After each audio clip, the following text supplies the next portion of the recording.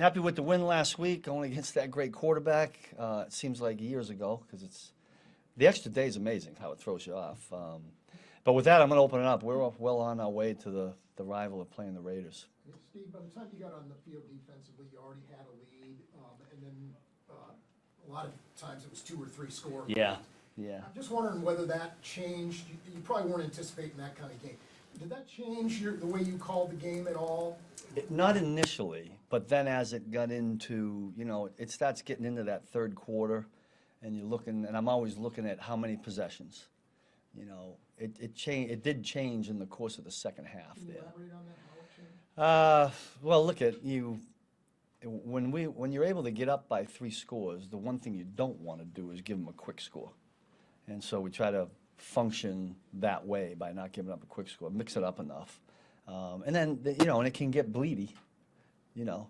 And, and Tom was smart enough that he was being patient. He was taking check downs, um, but that was okay with us. And then you know, of course, you're still looking at the clock and seeing what's going on. But one time the lead kind of looked a little bit precarious was when, uh, your offense turned it over on downs in the second quarter. Second quarter and now. first- You dialed it up on the first play Mhm. after that. What, can you talk about what you were thinking there?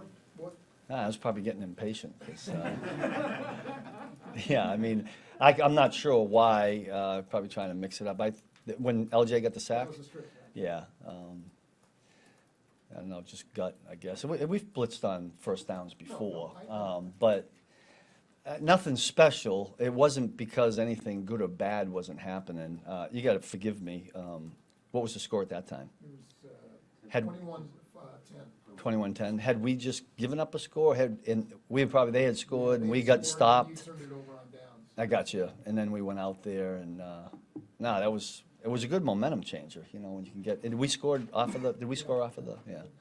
So that helped. Nothing in particular. I, I mean, I can't, there's no secret there. I didn't get a signal or, or hear anything, anything like that. Just happened to have the right call play, you know, had, had the right call made at that, that particular time. Generally speaking, from a coach's standpoint, when is the right time to call a defensive back blitz? Every down, as far as I'm concerned. I mean, I, there's no preference there, and I'm being honest with you. I mean, we run them as, uh, we call them as run blitzes. Talking about secondary, guy, we could call them as pat, pass blitzes. Uh, they're all in there, um, and they are, and I feed them to the guys that way too. You know, a, a, a, a corner or safety or whatever's coming, this will run blitz for us. You know, if they happen to throw it, do this. You know, these here happen to be, you know, third down. Um, pass pressures. If they run it, just make sure we rally to the run. Why is Sneed so good at that? You know, he's got a unique. I tell you what, to me, in my opinion, when you watch him, he he he's really explosive from standstill to wherever. If you watch him, he's really explosive from point A to B. That's not easy to do. Some guys take a little while to get going. You know, and he's gotten good at timing it up, and we work all the time at, you know, when he's not coming, when he is coming, make sure you give the same, you know, the whole thing. I mean, he's been really good at it. Uh, we got to probably stop bringing. They're gonna figure it out pretty soon here and uh, change things, but that might help us on something else. So.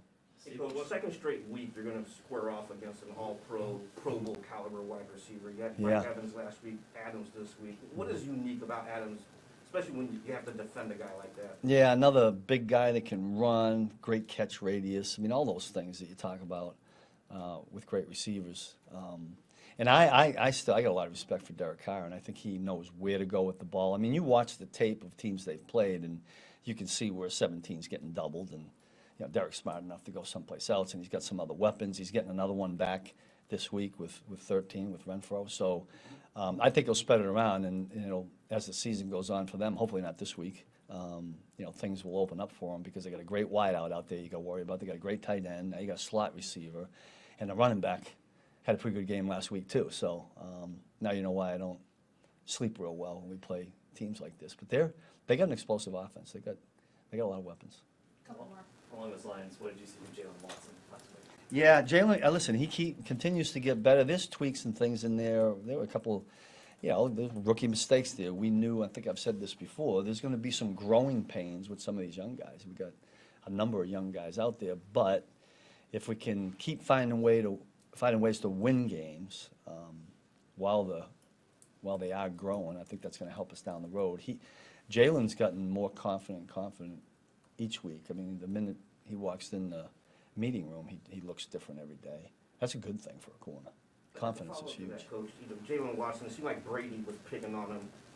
What do you say to your rookie quarterbacks when- you know you have a savvy veteran like, like a Brady, and even this week Derek Carr, that Yeah. they're probably gonna go at you? Yeah, just keep battling. I mean, I don't want those guys to change at all. Um, I want them to be aggressive the way we, the way Dave and Donald coach it. Don't change because one time they complete one. I mean, you can't do that in this business. You just got to go on and on to the next play, and hopefully, hopefully it's not detrimental and leads to points. But, and I think Jaylen's done a good job of that. He's, I don't see him putting his head down, or I still, I, I still see him fighting in there. Did you have a question? Uh, yeah, coach. So you guys have allowed the fewest rushing yards in the NFL this season. Yeah. How do you explain that so far through four weeks? They decided not to run it very much. Uh, they only ran it five times, right? Um, that was their decision. Now, listen, we got it's challenge after challenge after challenge, right? We had Jonathan Taylor, and we had other backs before that. You know, we had Leonard Fournette. I mean, it's just that it's not going to change. Um, they may. I mean, my guess is that in this particular game coming up, I think they're going to make that a focus. You know, that back that, Josh has right now, he knows is really good. He got him cranked up last week, and I would imagine he would try to do the same thing. And it's going to be our job to see if we can get it to one dimensional. Um, and if we don't stop the run, you know, the other stuff will get ugly too. So that'll be a focus. That'd be big. Thank you. Okay, you got it.